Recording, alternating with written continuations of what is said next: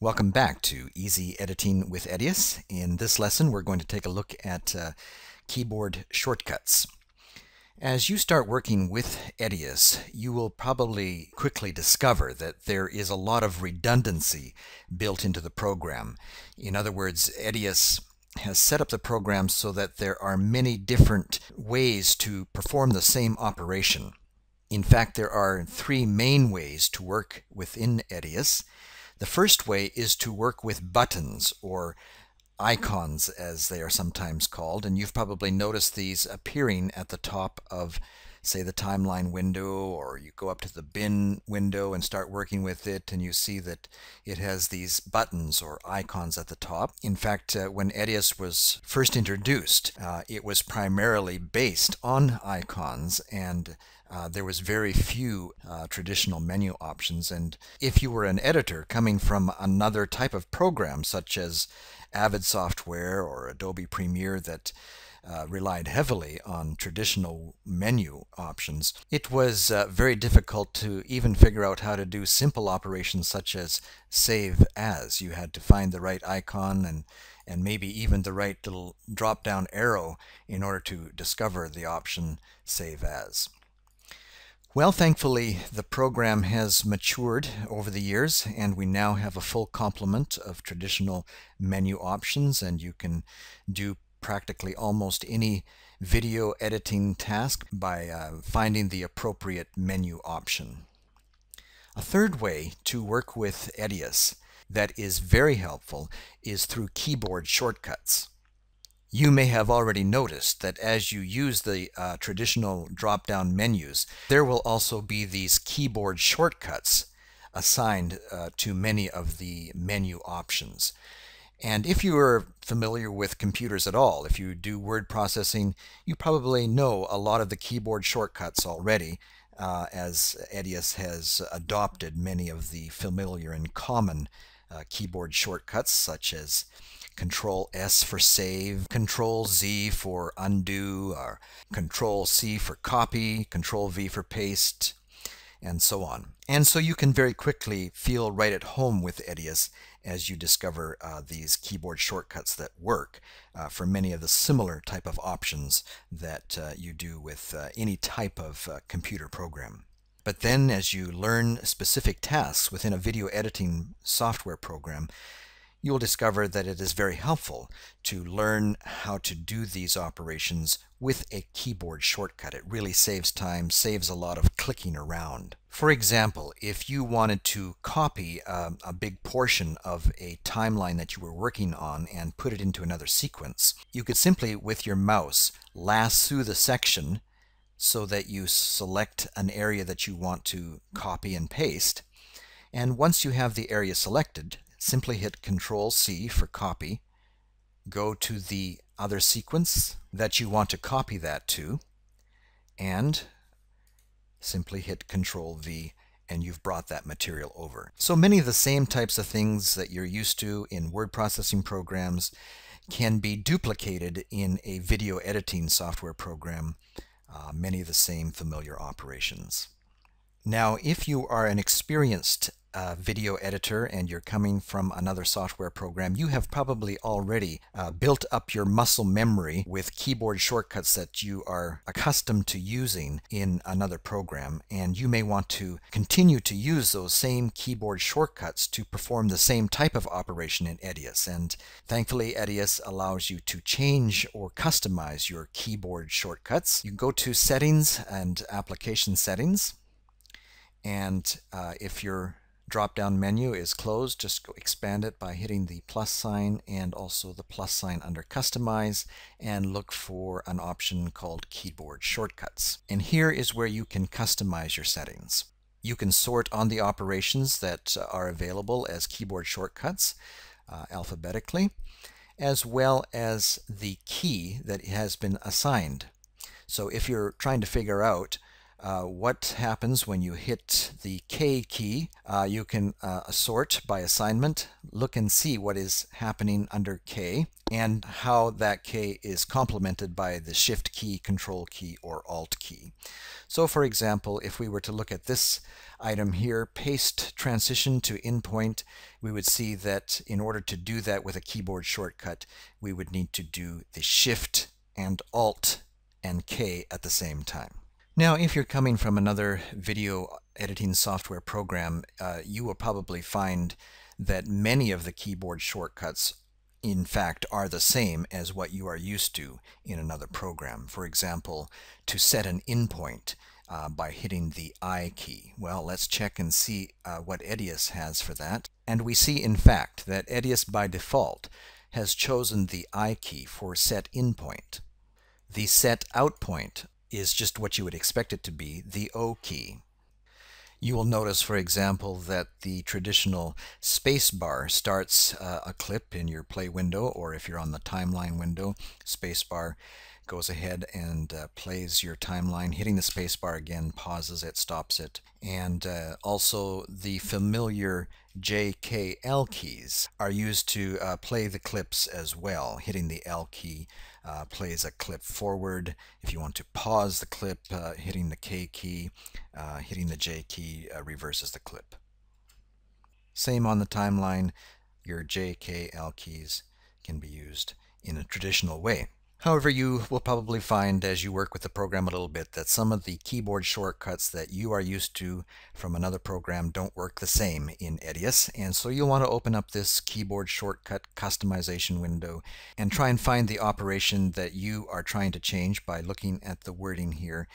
And it may not be worded quite the same as what you're used to, so you may have to search through this a little bit. Uh, in fact, uh, the wording sometimes changes from version to version within Edius as a new version comes out. They might have changed the wording on this. So if what you see in here doesn't match up with your version of Edius that you're working at, that's what's going on there. Now, there's no real value in me giving you a list of my keyboard shortcuts. Keyboard shortcuts are a very personal thing depending on what programs you have used in the past, uh, what language you're working with, and that type of thing. So I won't bore you with the keyboard uh, shortcuts that I have set up with the exception of pointing out just a few things that I think are important for you to change. Go ahead and sort by operation and look for a item called delete between in and out and you will probably see that Edius by default has set this to a standalone D key and uh, what can happen here is you may set an in and out point way down your timeline and be working on another part of your program. And uh, completely forget about the fact that you have this in and out point set and inadvertently hit your D key without realizing it.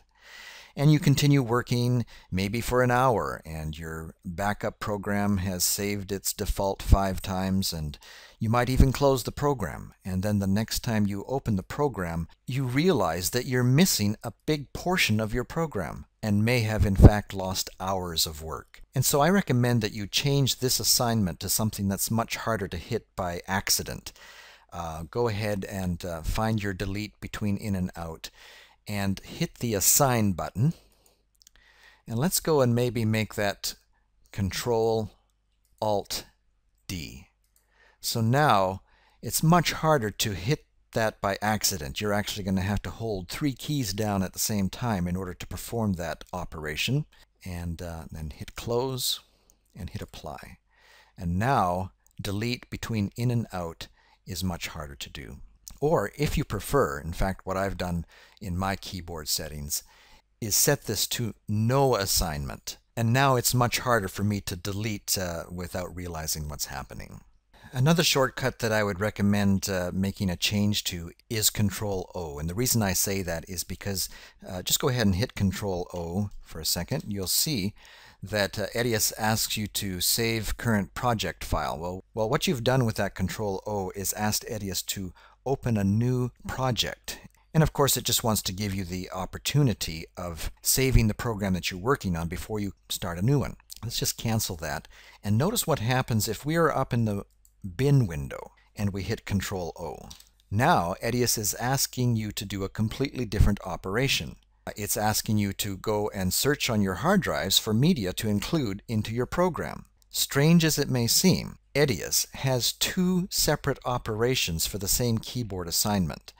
Uh, if your focus is on the timeline or on your preview window and you hit Control O, it will be asking you to open a project. If your focus is in your bin window, and you do that by just clicking within your bin window, uh, then Control O is a completely different operation. And you know, as you're working with your menu options and you uh, pick up on some of these keyboard operations and you realize that, oh, I can just use Control O to add file whenever I want, and you start learning these keyboard shortcuts, and you start using Control O as you're working with your bin window a lot to bring in media. Uh, there may come a time, a day, when your focus is somewhere else like the timeline window and you hit control O to bring in a file from your hard drive and you realize that Edius is sending you in a whole different direction. So what I recommend is to go to your keyboard shortcuts and um, sort on operation and uh, look for open project and change the assignment to something like control P by hitting the control button, hitting the P button, and hitting close and apply. And you'll see that now our assignment is the P key as well as the control button is assigned and it shows that by having the on.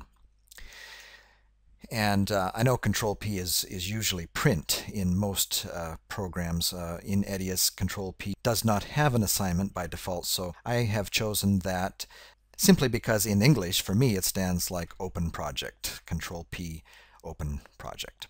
Now, of course, depending on your language or depending on what you may be used to coming from another program, you could, of course, set this to be any assignment. And you'll notice that if you choose an assignment that is already used, like say the Control U key, Edius will let you know that that keyboard shortcut is already assigned to something else and it'll tell you what it's assigned to so you can decide is this something that I use a lot and if it's something that you'll never use, the time scale undo, well, I probably will never use that. So I can go ahead and override that. And now Open Project is set to Control U. Now that we have made that change, uh, if we happen to hit Control O when our focus is in the timeline, well, nothing happens. So that will limit our confusion. Now, it's only when our focus is in the bin window that Control O actually performs an operation. Okay, there's just a couple more that I'd like to point out here that uh, I use a lot and you might want to set up uh, at least some keyboard shortcut for. When you're working with the timeline, you are no doubt going to want to expand that timeline a lot so that you can get in and work with specific fine details, select the transitions themselves. Uh, but then there'll be a lot of times when you want to see the bigger picture and you'll want to contract that timeline down. Well, one way that you can do it is go and in the corner of the timeline window point to this little slider bar and that performs that operation. But I like to have a keyboard shortcut assigned to that so that I'm not having to always find my mouse and grab a hold of it and grab this slider bar. I can do it much faster with a keyboard shortcut. So if you'd like to do that, just go ahead and open up the keyboard shortcuts again and search for an operation called timescale zoom in. And for me, I like to have the plus key assigned to this. I think I picked that up back in the days when I was working with Adobe Premiere. Uh, you'll notice here that it says the equals key, but um, in essence that is the, the plus key. And then for timescale zoom out, I have assigned the minus key. You'll notice that there are actually two assignments that you can have for um, zooming in on your timeline and two for zooming out. So you could have uh, a couple of other options there as well as your plus and minus keys. Now there's one more that uh, we'll show as an example here and uh, that is apply the default transition. Um, something that uh, you'll do probably hundreds of times a day, and that is add a transition. And rather than go to your effects palette and find that transition um, each time, you know, drag that dissolve over between the two. You can set up a keyboard shortcut for that and assign it so that it's very easy to add a transition. So let's go set that. And uh, this is one of those uh, things where the wording can change. You might look under Add Transition. And if you don't see it under Add Transition, you might want to go uh, and look for Apply Transition. And you don't see it there. Uh, even within the Edius program, this wording can change from version to version. Well, let's uh, maybe just to help us find this key, let's just uh, do a little search. And uh, so now we're sorted by the word transition. Um, toggle, shift cut, set transition to out point. Uh, here we go, set default transition. And you can set this to anything that uh, you like. Because I use the dissolve transition the most, I have set this to Control D. Control D. Uh, but you can set it to anything you want. Let's say you want to use Control W. Well, just open up your little keyboard window here and uh, hit the Control key and also the W key. Now you'll notice that you get a little warning here that that Control W has already been assigned to another operation, so just check and make sure it's not something that you use a lot, uh, display waveform, and it's probably alright to overwrite that if you want to have a different keyboard shortcut defined to displaying the waveform, then you can always set that later. But for me, I like Control D for dissolve, and now set default transition for my purposes is set to Control D. And now whenever I want to apply a dissolve, I simply place my cursor, my timeline cursor, in between the two clips where I want to place a dissolve, hit the Control D key, and I now have a dissolve in place. Now something that's very nice is that whenever you change a keyboard shortcut or add a new keyboard shortcut, Edius will show you that in the drop-down menus. For example, you'll notice right now that there is no uh, keyboard shortcut to open the application settings. The only way I can open the application settings dialog box is with the drop-down menu. But notice that you can assign a keyboard shortcut for that operation. There are many operations that have no assignment. As you look through here, you can see a whole host of operations that could be assigned a keyboard shortcut, but currently have no assignment. Well, we can go in and we can look for application settings. Here it is here. We see that it has no assignment, but let's go in and assign that to, oh, let's say S. We get our little warning box here. Taking a look at it, I see it says move to next edit point. Well, that's not something that I use in my normal operation, so I'll go ahead and override that. Now, as I close that, apply, hit OK, notice as I now go to settings, I see that I now have a keyboard shortcut displayed there right alongside of the application settings. And since I open this dialog box a lot, it's nice to have a keyboard shortcut assigned to that. And as I mentioned, you can save your keyboard shortcuts, and it's a good idea to do. You can save it to your hard drive or to a USB key. If you choose export, uh, give it a name, and hit save. Okay, well that's it for customizing your keyboard shortcuts.